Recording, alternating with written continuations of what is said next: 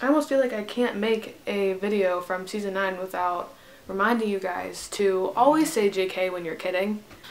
Okay, so you guys may notice that this eye is a lot smaller than this eye. That's because I had an allergic reaction, so this will be good for filming.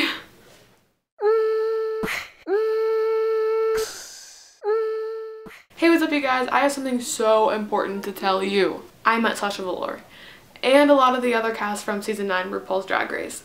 Can I just tell you that they were all so genuine, so sweet, so talented, so amazing. We all got a meet and greet with all the girls and we got a picture and then the show happened. I have a whole bunch of clips from the show that I'll show you guys and they were so good. If you're one of those people that drag queens confuse you like i know a lot of people can are confused by like what they do and like why would you go to a drag show it's just a performance they literally sing dance you can see their outfits that most of them make themselves and they are just so charismatic and so amazing and honestly like it's so much fun. That night was amazing. So I really hope that at least some of the girls come back to Pittsburgh. Honestly, I'm not gonna lie, Sasha was my favorite from season 9 from the beginning. As soon as she walked in with that scream, I was like, there she is, there's the queen. And if we were about to walk up and like take a picture and all that jazz, I walked up to Sasha because I really wanted to be able to give her a hug. That was the one thing I wanted to be able to do. And I also had a note to give her.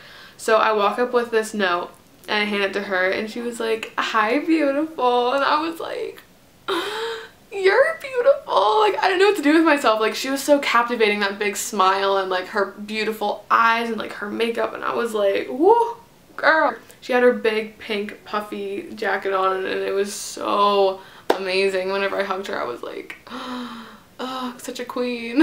And like, they were all honestly so great. Eureka was so good. I'm so excited for her to go in season 10.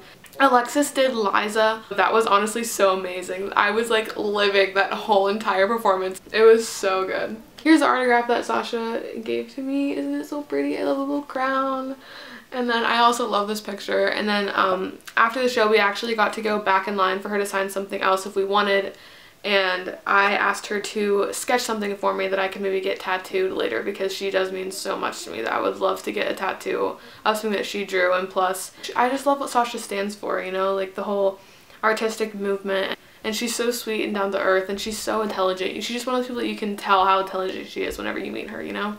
But um, these are some of the sketches that she made me and I love this one like the eye with the crown. It's definitely one of my favorites. So stay tuned. Maybe I'll get that tattooed I also want to show you guys the shirt that um, I got. It was Sasha's merch and she's really into graphic design so she designed all of her merch herself. There's her really awesome little signature at the bottom.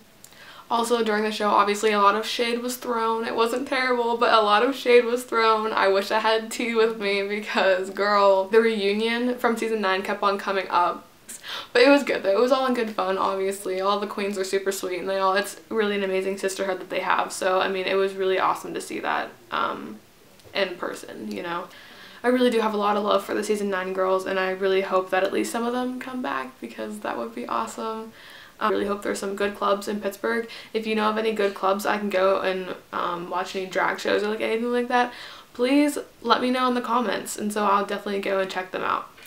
I will actually be doing a Sasha Velour makeup tutorial here very soon and it'll be the first time that I ever attempt a drag makeup. So make sure you subscribe and look out for that because it might be embarrassingly funny because I don't know what I'm doing but I'm really honestly going to try and then I'm also going to be doing some of the other girls from season 9. Whenever I make that Sasha Velour makeup tutorial, I will actually be going into more detail if I forgot anything about the whole experience.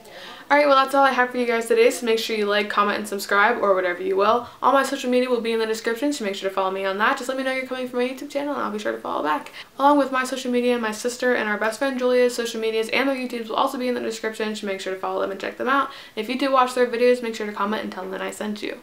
So thank you guys so much for watching. I really hope you guys loved season 9 as much as I did and if the War on the Catwalk is coming to a city near you and you haven't gotten your tickets yet, I promise you, you will not regret it if you get them. So make sure that you guys go and make sure you get all the merch there and hopefully you'll be able to meet them. And yeah, so I will see you guys in the next one. Bye!